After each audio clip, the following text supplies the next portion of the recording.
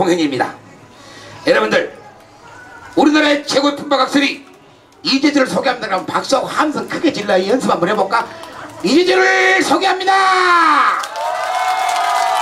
이발 질른 새끼는 잘 질르는데 안 질른 새끼는 끝까지 안 질르네. 자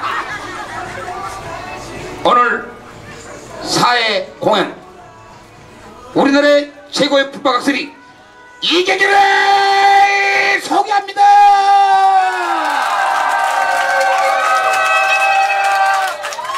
그만해. 빨리빨리 잘라 씨발. 개들. 하지 말고 씨. 인생살이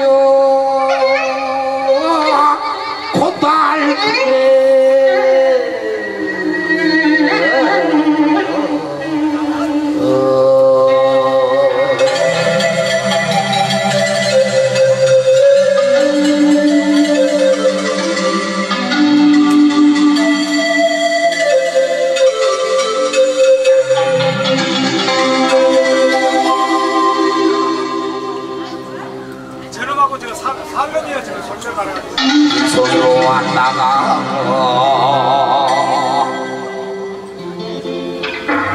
빈손으로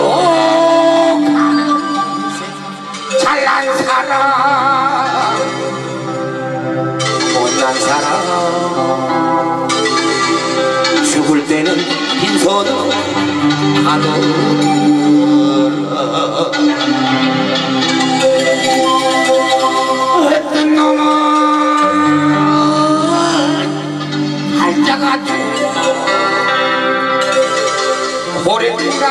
같은 이야기에 흰쌀밥에 고기국을 맛하는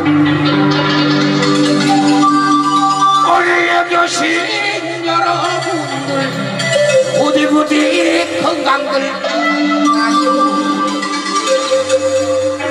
웃으면서 살아갑시다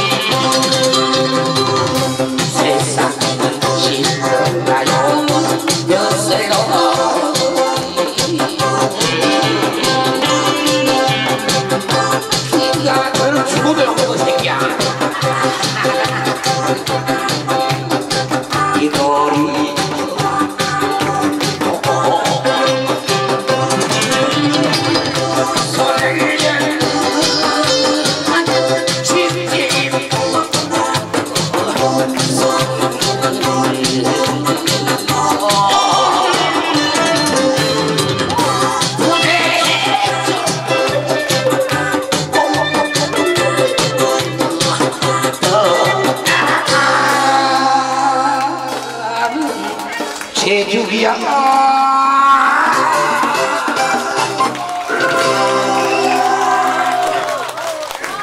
그런데 이제